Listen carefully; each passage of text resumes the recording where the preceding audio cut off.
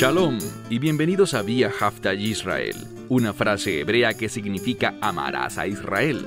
Esperamos que se queden con nosotros, ya que nuestro maestro, el Dr. Baruch, nos compartirá una enseñanza expositiva de la Biblia. El Dr. Baruch es profesor titular del Instituto Sera Abraham, con sede en Israel. Aunque todos los cursos en el instituto se imparten en hebreo, el Dr. Baruch se complace en compartir esta enseñanza en inglés con doblaje al español. Para más información, visítenos en amarazaisrael.org o descargue nuestra aplicación móvil Mi Estudio Bíblico. Aquí está Baruch y la lección de hoy. ¿No te parece que hubiera sido maravilloso vivir hace dos mil años y presenciar los eventos que rodearon a la persona y la obra del Mesías Yeshua?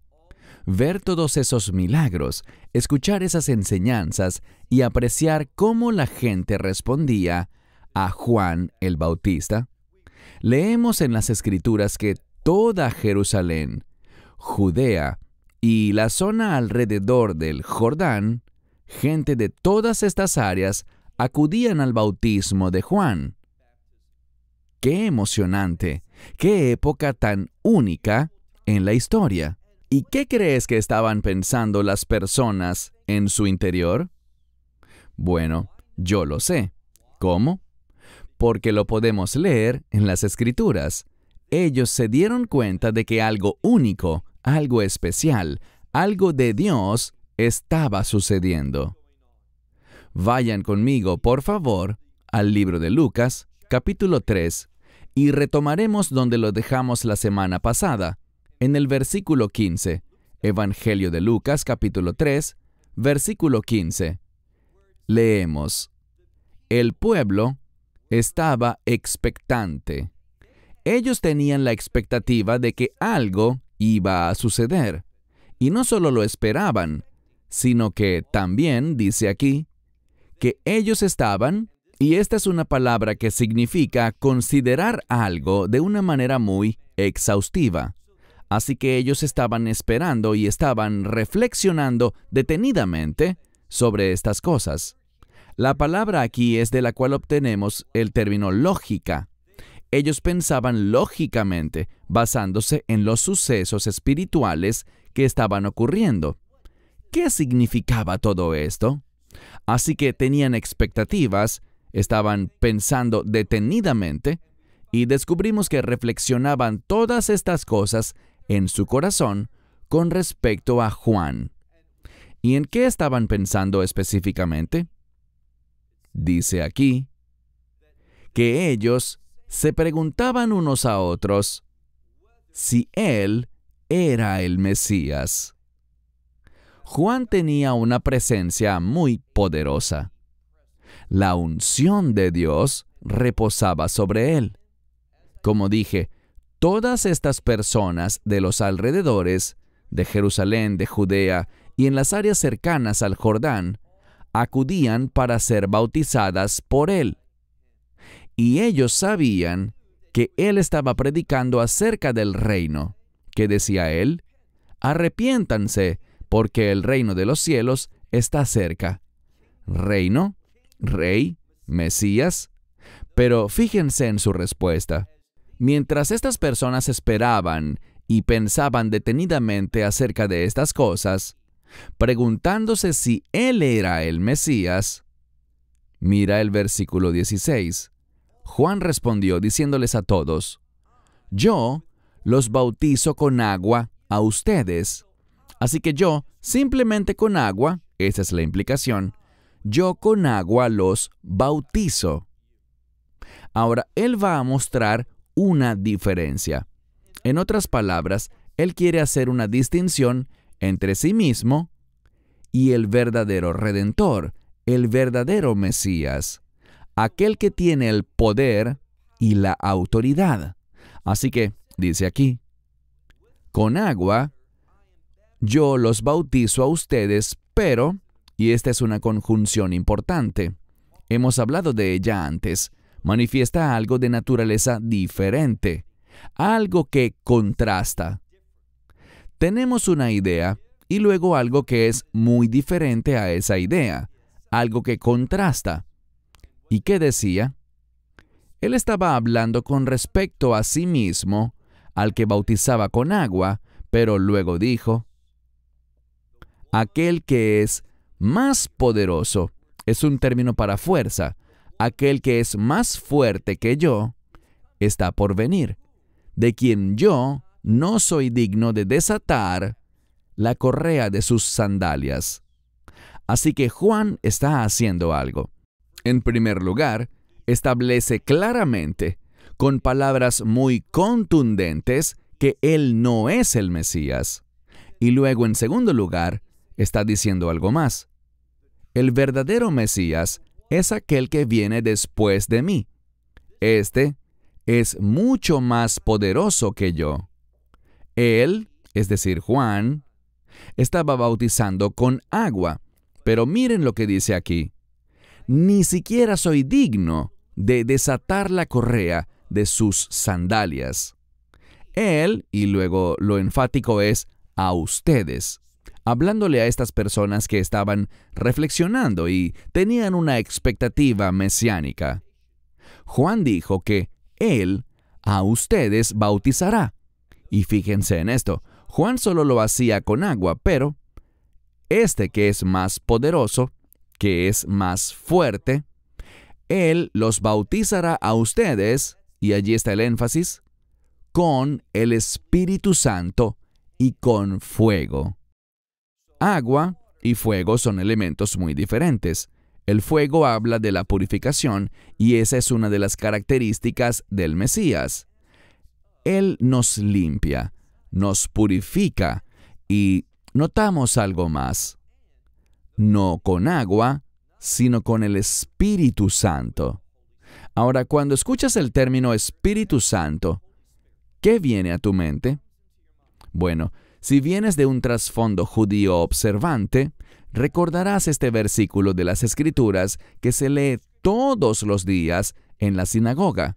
Es un texto bíblico de Isaías capítulo 59, versículo 20, que habla de un redentor que vendrá de Sión para apartar la transgresión de Israel, allí dice Jacob, refiriéndose al pueblo judío.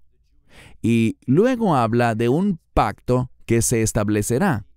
Y este pacto hará que venga el Espíritu de Dios, o como se menciona aquí, el Espíritu Santo, sobre aquellos que entren en ese pacto, que experimenten la obra de redención a través de este Salvador, este Redentor.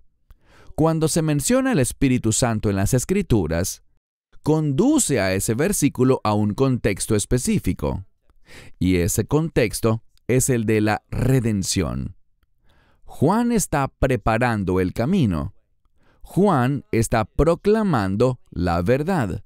Juan está señalándonos a aquel que es más fuerte, más poderoso y que tiene una obra muy diferente que hacer.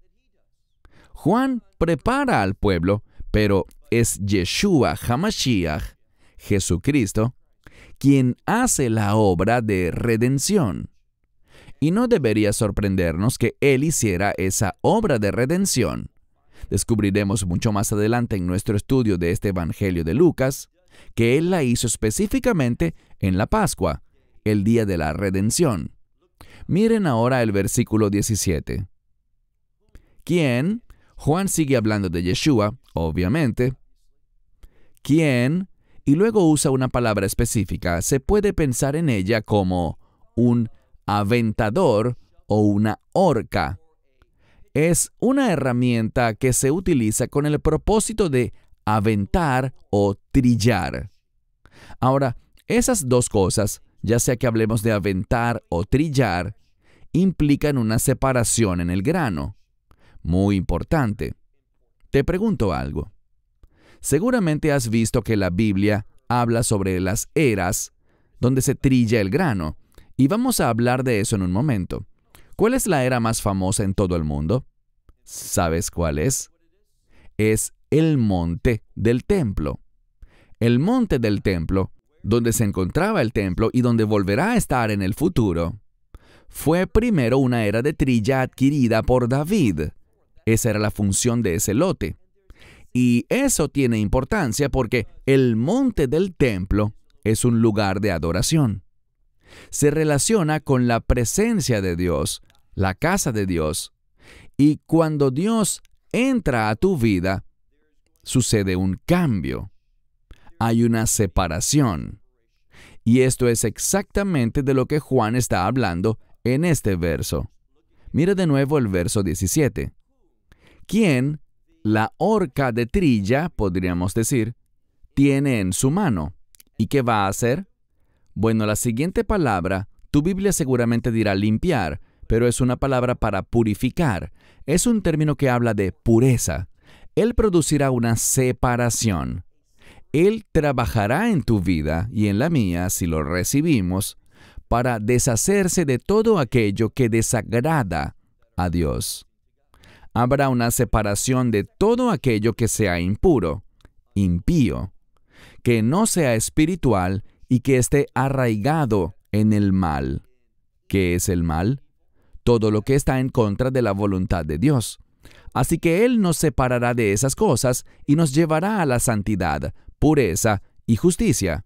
Podríamos decirlo así, nos llevará a la voluntad de Dios.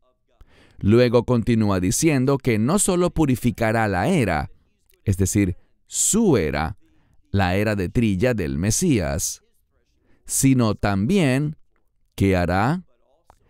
Él ha recogido el trigo en su granero. Y si estudias esto, ese granero es una referencia a qué? Bueno, el granero es un lugar de almacenamiento y esto no es sino una referencia al reino. Él recogerá el trigo. No todo lo que se produce, sino el trigo. Lo almacenará en el granero y luego dice, pero la paja, ¿qué es eso? Bueno, cuando trillas, te deshaces de la paja, la separas del grano y te quedas con el grano. Lo llevas al silo, al granero, para guardarlo. ¿Por qué? Porque tiene valor. Y aquí está el mensaje para nosotros. Solamente, y no lo pases por alto, solamente cuando estés en una relación de nuevo pacto con el Mesías Yeshua, Solo a través de esa relación de nuevo pacto con Él, entrarás en una relación eterna con Dios. Y descubrimos que eso producirá pureza y te hará valioso. Es decir, Dios te verá a ti como alguien redimido por la sangre del Mesías y te verá como alguien valioso para la obra del reino. Y ¿Cuál es la implicación de eso? Me encanta la siguiente parte. Él nos permitirá, hazlo personal, Él me permitirá a mí y te permitirá a ti participar en lo que Dios está haciendo. Y cuando participamos con Dios, ¿sabes qué tendremos? Comunión con Él. Y no hay nada, nada mejor que estar en comunión con el único y verdadero Dios viviente, el Dios de Israel. Y veremos en un momento cómo se logra eso según este texto. Pero dice, mas la paja la quemará con fuego que no se extingue. Esa palabra para un fuego que nunca se apaga, que nunca se extingue, que nunca puede ser sofocado, ¿qué palabra es? es de la que obtenemos la palabra asbesto, y ese fuego continuará encendido por la eternidad. Permíteme decirte que existen denominaciones que son realmente sectas. No están arraigadas en las escrituras y enseñan que el juicio de Dios llegará a su fin, que el castigo no es eterno. Eso no es lo que dice la palabra de Dios. Aquellos que enseñan sobre la aniquilación del alma, que algún día los malvados, los que han rechazado el Evangelio, simplemente dejarán de existir. La Biblia no dice eso. No. Oye bien, pues lo que te diré es muy serio. Aquellos que rechazan el Evangelio experimentarán tormento eterno, dolor eterno y miedo eterno en ese lugar exterior de oscuridad. Nunca terminará, y te aseguro que no quieres experimentar esas cosas. Nunca, y mucho menos por la eternidad. Y solo hay una forma, solo una manera de evitarlo, y es a través del mensaje del Evangelio, invitando al Mesías a salvarte, confesando tus pecados, confiando en lo que Él hizo al entregar su vida en la Pascua, sobre esa cruz. Y la confirmación de que lo que hizo es totalmente suficiente para todos los tiempos es el hecho de que Dios el Padre lo resucitó de entre los muertos. Esa es la verdad bíblica. Tienes que creerlo y recibirlo en tu vida, entrar en ese nuevo pacto por fe y entonces estarás eternamente seguro debido a lo que Él ha hecho. Nosotros solo lo recibimos y por lo tanto podemos acercarnos a Él con gratitud, con alabanza, deseando glorificarlo y todo eso nos lleva a convertirnos en una nueva creación en el Mesías. Mira el verso 18. Por lo tanto, muchos, y la implicación es otras cosas en adición a esto. Con muchas otras cosas. Él, este es Juan, animaba, y no solo animaba, sino que también predicaba las buenas nuevas al pueblo. Verso 19. El verso 19 es uno muy importante porque Juan predicaba el Evangelio, pero también era un hombre que hablaba con convicción. A él no le importaba enfrentarse a la autoridad y decirle a esa autoridad que lo que ellos hacían estaba mal, que estaba en contra de los estándares de Dios. Y tenemos un ejemplo de eso. Miren el próximo verso, el verso 19, que dice, pero, y esto significa en contraste con Juan, y en contraste con aquel a quien él le preparaba el camino, al Mesías, en contraste con ellos dos, está este hombre, el rey Herodes. Dice aquí, Herodes el tetrarca. ¿Y qué estaba haciendo Juan? Lo estaba reprendiendo, buscaba convencerlo de pecado. Él era reprendido por él, por Juan, por causa de Herodías, quien era la esposa de Felipe, su hermano. Ustedes conocen la historia. Recordamos que el rey Herodes quería hacer algo. Él quería casarse con la esposa de su hermano. Y descubrimos que Juan dijo que eso no estaba permitido. Ahora, ¿no hubiera sido más fácil para Juan voltear hacia otro lado? Pero no lo hizo. Y en última instancia, esta posición firme al defender la pureza del matrimonio produjo, como veremos en un momento, que Juan fuese encarcelado y también sabemos que en última instancia Juan murió decapitado. Fue esa firme posición al defender los mandamientos de Dios, al decirle que ella no era permitida para él, esa es terminología de la Torá, es terminología de la ley de Moisés. Y Juan, las escrituras dicen, de hecho, Yeshua dijo esto, que de todos los nacidos de mujer, de manera natural, nadie, oye bien, nadie es más grande que Juan. Por supuesto, Yeshua nació de una manera sobrenatural, pero Juan, nacido de mujer en un sentido normal, con simiente masculina, Juan, según Yeshua, es el más grande. Así que él tomó esa postura y noten algo más. Final del verso 19 y en relación con muchas otras cosas. ¿Qué cosas? Cosas malas que el rey Herodes había hecho.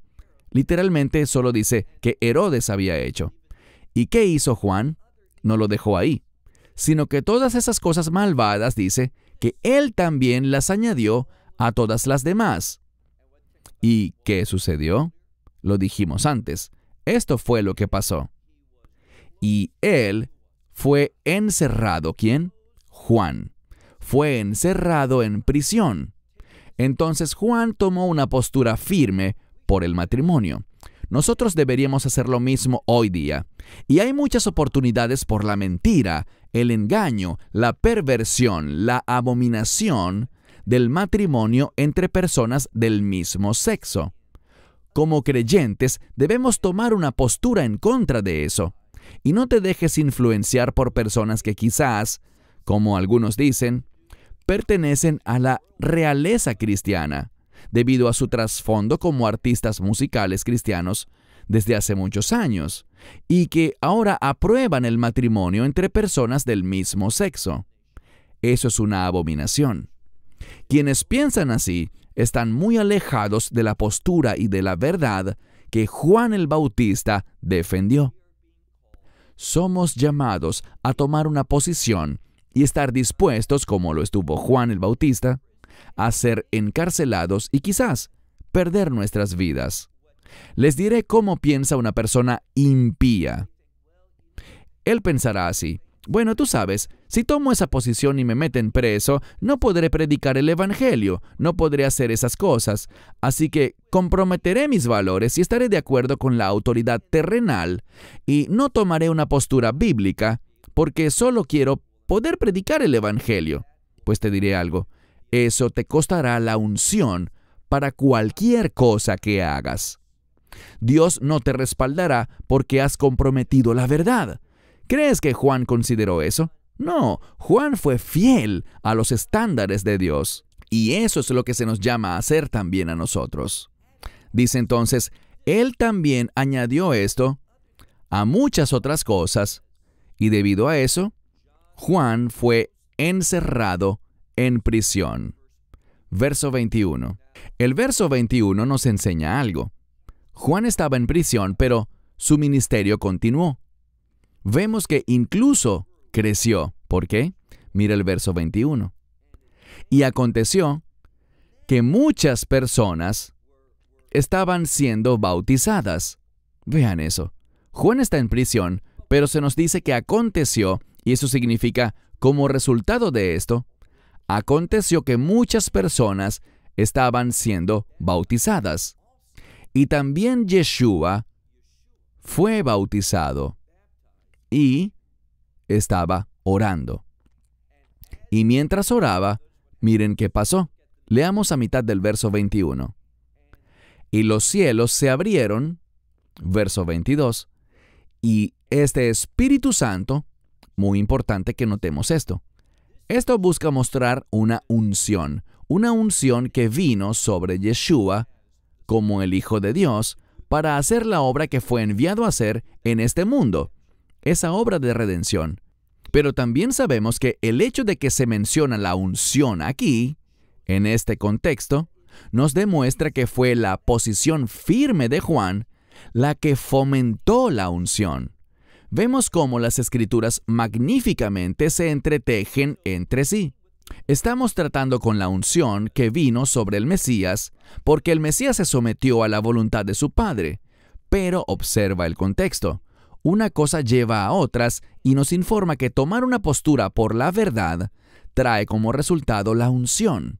Leemos aquí, y el Espíritu Santo, descendiendo en forma corporal, como paloma, es decir, descendió como una paloma sobre él, con una apariencia física. ¿Y qué pasó? Mira al final del versículo 22. Y una voz desde el cielo, ¿qué voz? La voz de Dios. Una voz del cielo vino diciendo, y vaya declaración tan maravillosa. Dios Padre le dice a Dios Hijo, a su Hijo unigénito, Tú eres mi Hijo amado. De ti yo pienso bien. Eso es literalmente lo que dice. Yo pienso bien. ¿Por qué? Bueno, entendamos toda esta cronología del bautismo del Mesías. Sucedió inmediatamente después de que la escritura relatara que Juan fue encarcelado en prisión. Ahora sabemos que, según los demás evangelios, Juan fue quien bautizó a Yeshua. Eso es un hecho innegable. Pero aquí la escritura se está narrando de esta manera para enseñarnos otra verdad, y me refiero a que fue la postura de Juan la que dio como resultado la manifestación de la venida del Mesías. Y nosotros deberíamos ser personas que aprenden de esto. Será nuestra postura en los últimos días esa perseverancia, esa resistencia en relación con un mundo desdichado que acepta perversiones y abominaciones, como el matrimonio entre personas del mismo sexo, la homosexualidad, todas esas cosas, la transexualidad, todo lo que se nos está lanzando en la cara ahora mismo. Tomemos una postura en contra de eso y no comprometamos nuestra fe. Si nos echan a prisión, si nos quitan la vida, regocijémonos por haber sido considerados dignos de sufrir por la justicia. Es un testimonio de nuestra fe en Yeshua. Y vemos algo aquí muy importante. Leemos que esta voz que vino del cielo dijo, Tú eres mi Hijo amado. De ti yo pienso bien. ¿De qué habla esto? El Mesías está diciendo algo. Le está diciendo a su Padre, estoy iniciando mi ministerio y sé cuál es mi ministerio. Yo iré a Jerusalén. ¿Cuándo? En la Pascua. Ahora la Pascua se relaciona con la muerte. Algo muere en la Pascua, ya sea el cordero o el primogénito. Ese principio viene del éxodo de Egipto. Así que la Pascua se relaciona con la muerte. El Mesías dice, subiré a Jerusalén para morir, seré sepultado y resucitaré. Estoy haciendo la voluntad de mi Padre. Y es cuando hacemos la voluntad del Padre que seremos plenamente de su agrado. Él pensará bien de nosotros. Y eso es lo que esta escritura está comunicando. ¿Estás orando para poder expresar esa posición firme de justicia? ¿Están tus pensamientos, tus decisiones, tus valores políticos basados en la palabra de Dios o estás siendo influenciado por el mundo? No te equivoques. Aquellos que son sumisos a la palabra de Dios tendrán un fuerte compromiso político hacia las cosas de Dios, la justicia y la pureza. Ese es nuestro llamado. Y cuando nos levantemos, esa será una invitación para que su unción venga, nos fortalezca, nos dé las palabras que debemos decir y nos dé su poder para mantenernos fieles. Cierro con esto hasta la próxima vez. Shalom desde Israel. Esperamos que te hayas edificado con el mensaje de hoy y lo compartas con otros. Te invitamos a seguir nuestros estudios cada semana por este canal y por el portal de YouTube de Amarás a Israel. También puedes descargar nuestra aplicación móvil gratuita Mi Estudio Bíblico.